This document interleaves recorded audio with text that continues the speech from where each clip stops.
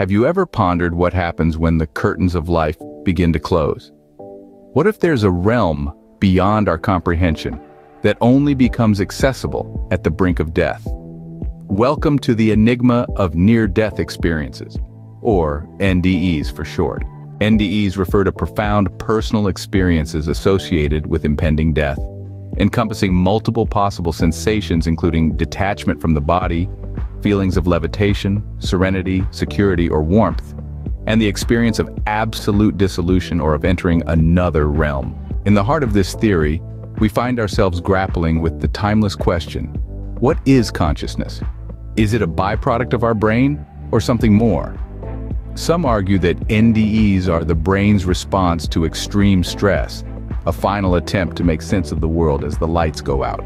Others propose that these experiences are genuine glimpses into another realm, suggesting that consciousness may exist independently of the brain.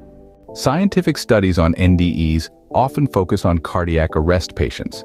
These individuals have reported experiencing NDEs during periods when their brain activity was ostensibly non-functional.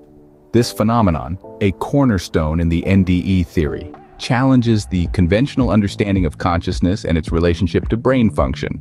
So what can we take away from this? First, NDEs are a widely reported phenomenon experienced by individuals across different cultures and age groups. Second, these experiences often share common elements such as feelings of peace, out-of-body sensations, and encounters with otherworldly realms. Finally, NDEs challenge our understanding of consciousness, suggesting it might exist independently of the brain. In essence, the near-death experience theory opens a window into the uncharted territories of human consciousness and the enigma of life and death.